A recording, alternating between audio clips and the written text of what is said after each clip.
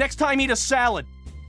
You fat bald bastard! You piece of subhuman trash! Oh. Two thousand years of constant human evolution to create a hairless fuck.